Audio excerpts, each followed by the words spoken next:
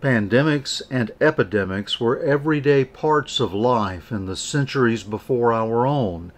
Each ship sailing into port and each traveler arriving in town came with the risk of disease and death.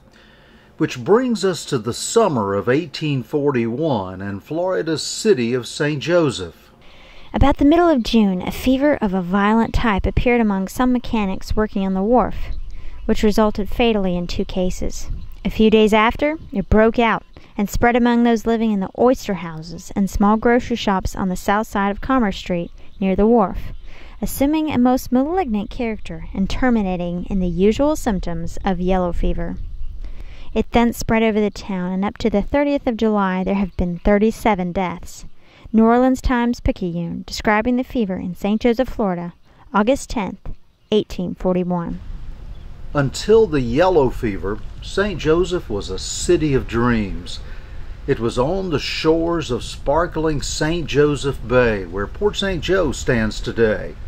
The city emerged from the wilderness in one year to become one of Florida's largest towns.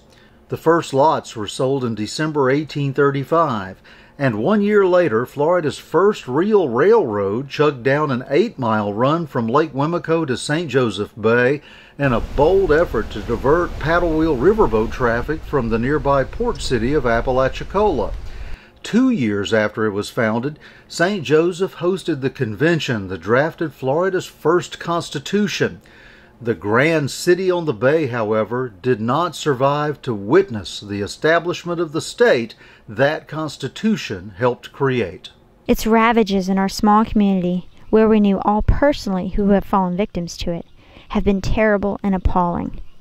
Never was a community so little prepared for it, and though the kindest offices of humanity have been mutually and faithfully exercised by the living towards the sick, yet there has been more anguish and distress than we have ever witnessed before. St. Joseph Times Extra, July 1841. The yellow fever was terrible and showed no respect for wealth or status. The town's only doctor fled for his life as bodies were piled into a mass grave. The wife of former Governor William P. Duval, Marianna founder Robert Beveridge, and federal Judge Richard Allen were among the dead. I was there in the midst of the fever. Judge Allen is dead, and 47 others of the yellow fever. Pensacola Gazette describing the fever in St. Joseph, Florida, August 14, 1841. When the fever finally ended in late summer, the city that once boasted thousands of residents had fewer than 500. A massive hurricane struck on September 14. Most of the survivors fled. By 1843, only 19 remained to cast their ballots in the state elections.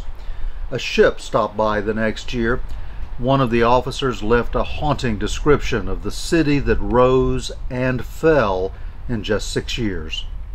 Fine dwellings, finished in the best styles, have been abandoned by their owners and left to rot piecemeal in the weather. Windows and doors are gaping open, swinging to and fro with every gust.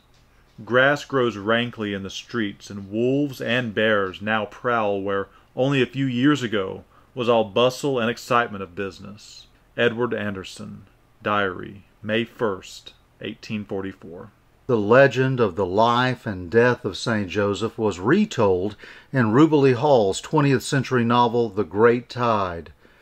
Bricks from the city helped pave Palafox Street in Pensacola, and some of the homes were moved to nearby Apalachicola, you can learn more about Old St. Joseph at Constitution Convention Museum State Park in Port St. Joe, Florida.